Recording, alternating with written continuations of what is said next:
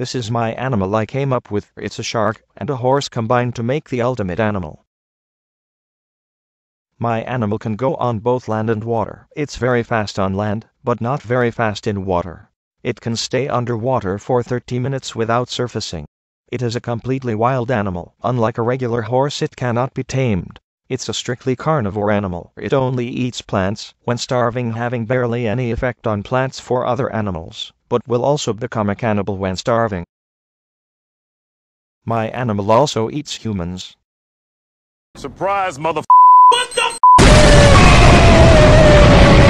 During the Renaissance times cod was the most common fish, and the stag was the most common animal that they ate and hunted.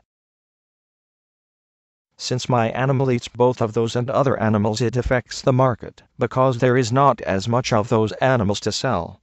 They often used dogs to hunt during the Renaissance times.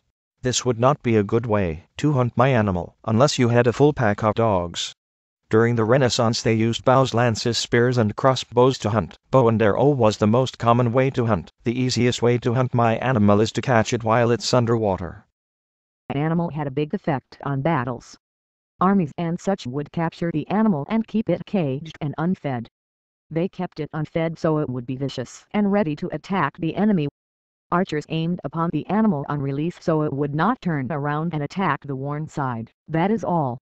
I know the video was short but I still busted to make it.